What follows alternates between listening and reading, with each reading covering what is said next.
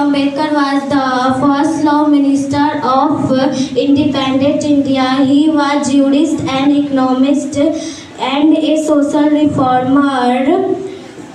Dr. Bhimrao Ambedkar has been celebrated as a holiday since 2050. He was born 1891. He was died 1956. Thank you. Thank you.